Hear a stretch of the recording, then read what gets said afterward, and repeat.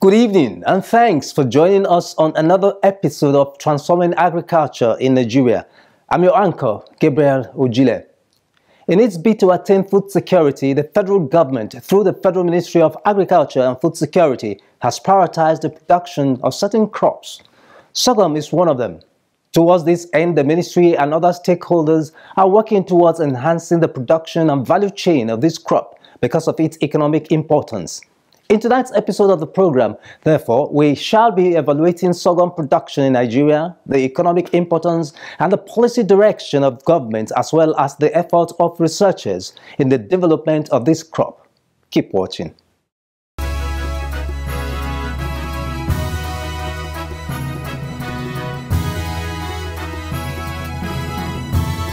Every part of Nigeria has something to offer.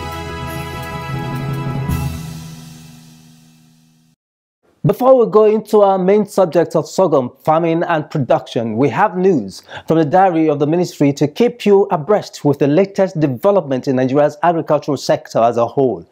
In the news, Agric Ministry calls for partnership with the U.S. to fight hunger in Nigeria, even as it calls on foreign investors to invest in Nigeria's agricultural sector. Do stay tuned for details.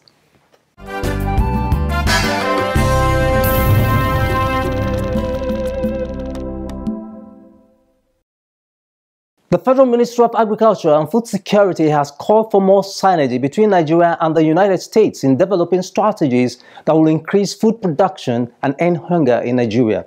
The Permanent Secretary of the Ministry, Ernest Afolabi Umakhihe, made this call while welcoming the United States Regional Counselor for Agricultural Affairs, who was on a courtesy call to the ministry. Umakhihe stated that Nigeria and the U.S. have come a long way in bilateral relationships in the area of agriculture and will benefit more from this partnership in the face of looming hunger. Welcome any area of interest and cooperation that we can get from this meeting about to strengthen the existing cooperation and fill the gaps that exist. Uh, as you know very well, we are in a period of emergency in terms of agriculture and food security. Uh, I would say there's uh, some hunger on the land because of escalating food prices. So I know there's no country really that uh, not support or have some subsidy for its farmers. And, uh, for us, some of the strategies of the U.S. government we work on how we can also navigate present crisis in our hands. While speaking, the United States Regional Counselor for Agricultural Affairs, Christ Balek, extolled the cultural and agricultural potentials of Nigeria and pledged the support of the United States towards helping Nigeria to develop the potentials for food security in Nigeria and export. And I know there's uh, some problems with uh, food prices right now and, and uh, the availability of products. Uh, and, and my, my hope and my wish is this emergency is, is temporary and short-lived and uh, that Nigeria excels and rises and, becomes a, a, producer, exporter of, of food and agricultural products. Also in attendance during the visit were the directors of the ministry and the team of experts who accompanied the counselor.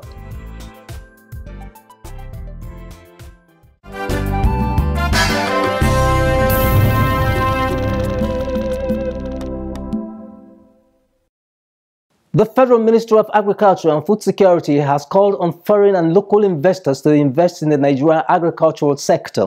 The Director of Federal Department of Agriculture of the Ministry, Abdullahi Garba Abubakar, made this call in an interview with our correspondent in his office in Abuja. Abdullah stated that Nigeria has been endowed with vast arable land and the ministry would support any foreign or local investor in the area of production, processing, or any aspect of the agricultural value chain.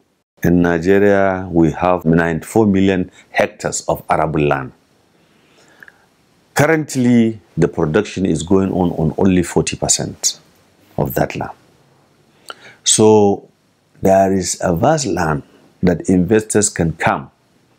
If you want 1,000, 2,000, 5,000, or even 10,000 hectares to cultivate sesame or any other crop for that matter, it is available. Be it in the rainy season or in the wet season, because we have water bodies in this country. So investors are at leverage to come and select the type of crop they want to cultivate.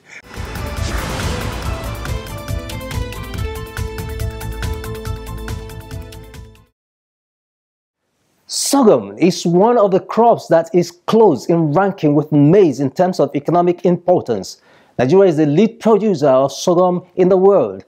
But what is the level of production of sorghum in Nigeria? How are technologies, innovations, and policies driving the production of this crop in Nigeria? What can the country do differently to boost the production of this crop for local and export demands? Answers to these questions will be our focus in our next segment, Record of the Federal Ministry of Agriculture and Food Security. Keep watching.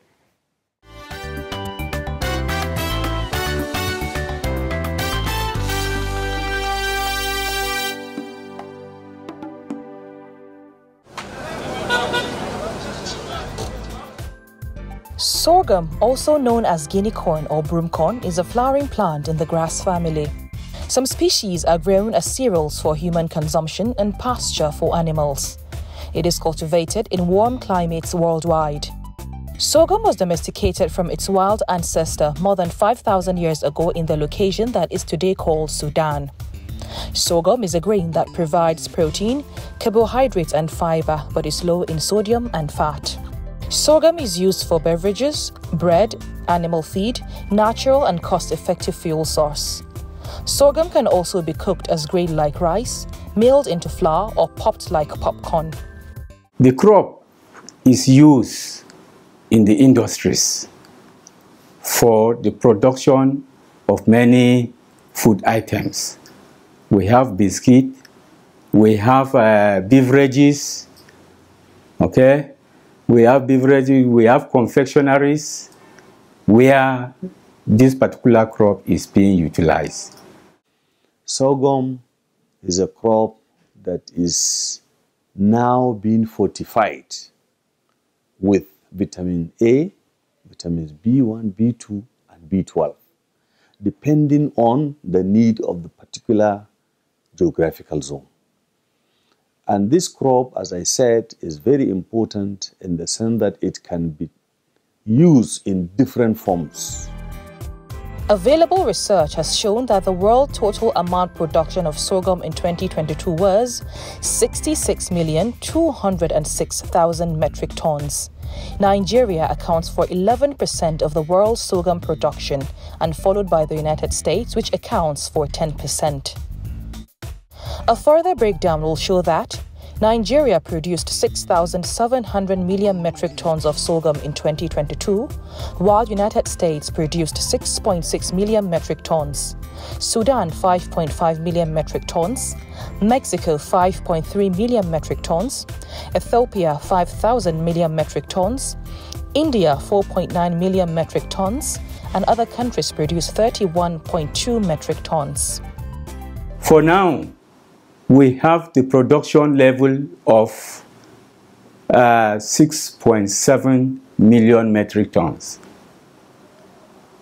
Moving away from what it was from 4.5 million metric tons.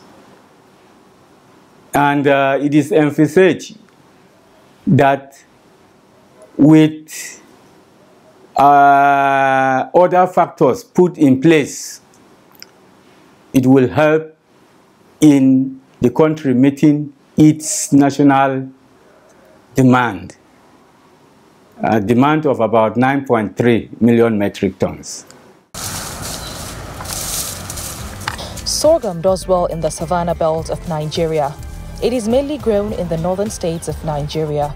Some of the sorghum producing states in Nigeria include Gombe, Bauchi, Yobe, Benue, Plateau, Nasarawa, Adamawa, Kaduna, Jigawa, Borno, Kano, Kebbi, Katsina, Niger, Taraba, Sokoto, Zamfara, among others.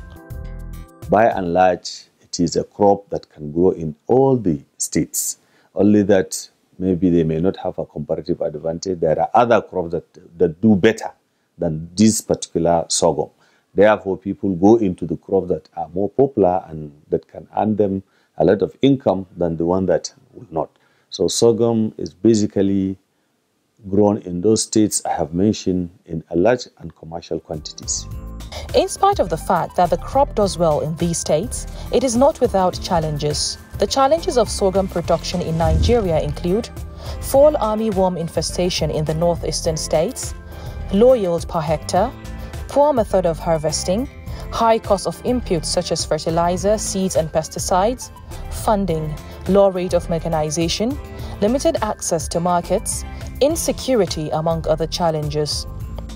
The Federal Ministry of Agriculture and Food Security and other stakeholders are aware of these challenges and have taken steps to tackle these challenges. In tackling the fall armyworm infestation in the northeastern states of Nigeria, the Federal Ministry of Agriculture and Food Security has come to the aid of sorghum farmers through provision of insecticide, among others, as temporal measures. We have been in touch with the farmers and we have been giving them these chemicals at highly subsidized price. In fact, it is they are just paying for 25% of the cost. So when they spray it, and that kills those worms, they don't exist again.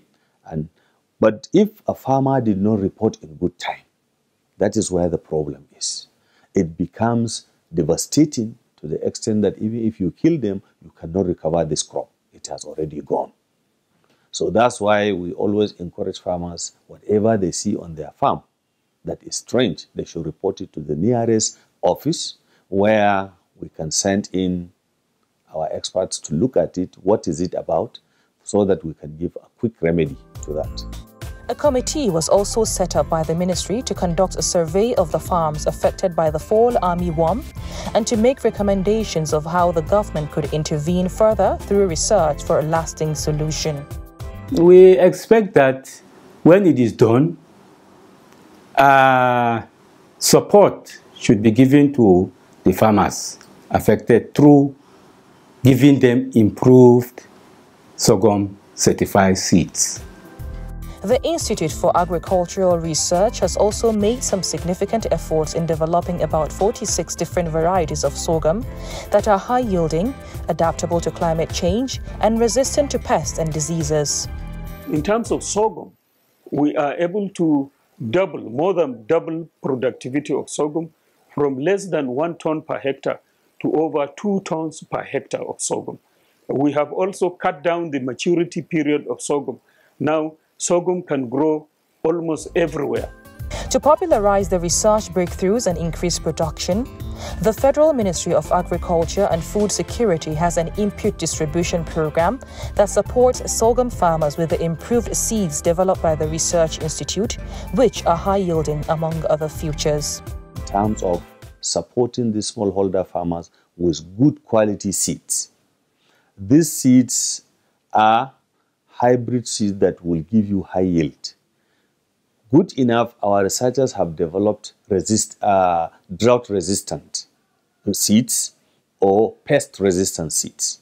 So we always encourage our farmers to go and buy this kind of seeds. Despite the support we are giving, we know it may not reach every farmer, but at least to the level we have been able to do, farmers are happy and they can go to a particular uh, farm center and procure this type of seeds. The Federal Ministry of Agriculture and Food Security has sorghum as priority crop in the National Agricultural Technology and Innovation Policy, and it is focused at deploying new technologies and innovations to support farmers in the states that have comparative advantage of the crop. The policy also encourages youth to go into agriculture as well as improve the livelihood of farmers like in the case of the NATIP, which is National uh, Agricultural Technology and Innovative Plan. It is mainly to help in promoting the production of most crops. Yes, so as we can now get self-sufficiency in the crop production, specifically uh, our own value chain.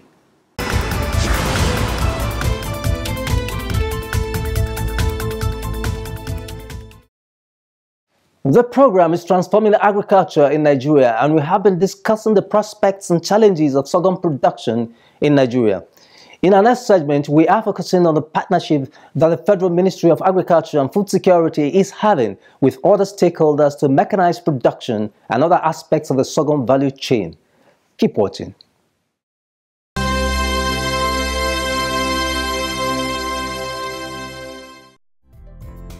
For Nigeria to attain self-sufficiency in food production and the development of the sorghum value chain in particular, there is need to change the narrative from manual labor of using hoes and cutlasses to the use of tractors and other machineries. The Federal Ministry of Agriculture and Food Security has a tractorization program to make tractor accessible by smallholder farmers structuralization program of the ministry. The ministry having looked at the need for our farmers to have tractors on farm, realize that the farmers are smallholder farmers that cannot even afford to buy a tractor. Therefore, we are encouraging that there could be vendors who can bring in these tractors through a bank arrangement to have a deferred payment by farmers. Deferred payment in the sense that if a farmer can afford 40% of the cost of that tractor, let him be allowed to offtake it by bringing a down payment of the 40%. Then the remaining 60%, he should be given a deferred payment of about three years.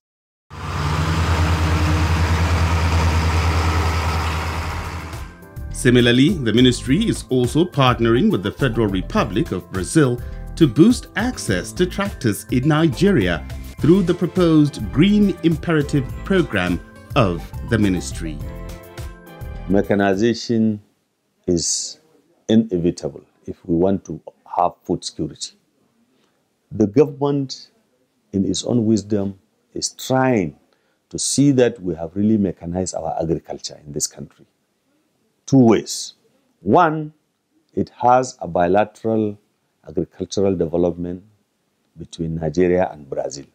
That is another mechanization effort that is being done by the government to make sure that we have all the necessary equipment, not only tractors.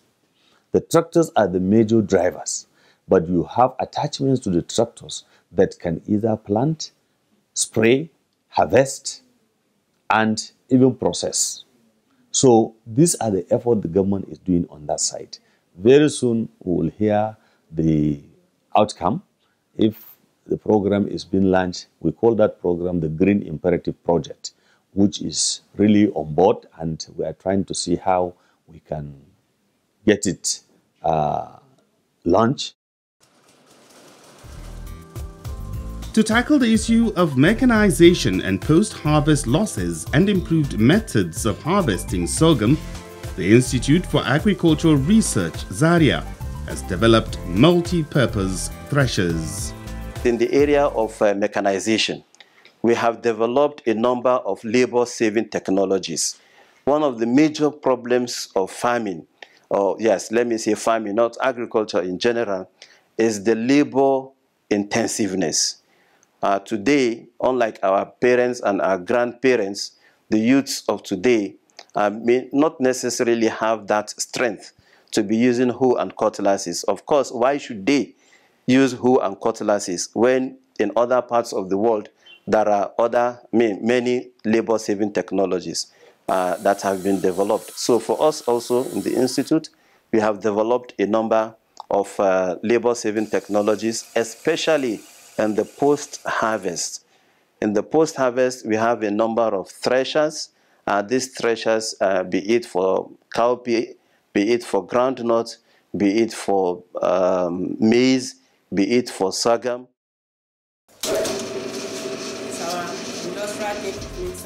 In the area of value addition, the Institute for Agricultural Research, Zaria, has also developed different products from sorghum which industrialists can adopt to popularize them for food security and improved livelihoods. Let me just use the, the one that we have done uh, recently. We produce flakes of different flavors. different flavors. You have the salted, you have uh, the, the, the sugar, you also have what the one that you didn't add anything to it. Then these are new products that were developed. Again, also at the Institute, uh, through that program, we have succeeded in coming up with uh, composite flours. The ministry is also supporting the farmers with post-harvest and value addition equipment. We also bring in a corn flour mill where people can even use it to grind it into flour, the sorghum. And that one is another hot cake now in the market. People don't wait until when they want to cook, they go and harvest, thresh it, grind it, and then bring it. People are there doing it as business. They buy the sorghum, grind it in flour form, package it, so that when you come and take it, you just pour it into the hot water and your meal is ready. To ensure that farmers take advantage of the effort of the Research Institute, the Federal Ministry of Agriculture and Food Security is also partnering with commodity associations and farmers are also advised to join associations to get the government support. Tractorization program of the ministry. The ministry having looked at the need for our farmers to have tractors on farm, realize that the farmers are smallholder farmers that cannot even afford to buy a tractor, even though technically we advise a farmer who has only two hectares, you don't need to bother yourself buying a tractor. It is only the large scale farmers that will be beneficial for them to buy a tractor. But then that smallholder farmer want to mechanize his farm. What happens? Therefore, we are encouraging that there could be vendors who can bring in these tractors through a bank arrangement to have a deferred payment by farmers. Deferred payment in the sense that if a farmer can afford 40% of the cost of that tractor, let him be allowed to offtake it by bringing a down payment of the 40%. Then the remaining 60%, he should be given a deferred payment of about three years. Thanks for joining us again on the program Transforming Agriculture. Do you have any question about the agricultural sector? You have crossbreeds that are fast growing. The anti property as well is also very Do you have inquiries on any issues raised on the program? The fish has been kept here since Monday, that's about two days ago. Would you like to know more on agricultural processes and practice? Do send us an SMS to the number showing on your screen. You can also reach us on any of our social media platforms for more information.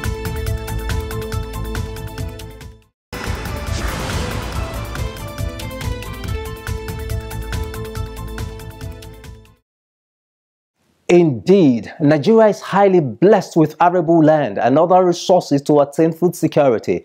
While the government intensifies efforts to support the value chain of agriculture towards attaining self-sufficiency in food production, it is imperative for citizens to take advantage of the potentials in the agricultural sector to actualize the goal of food security and improve the livelihoods.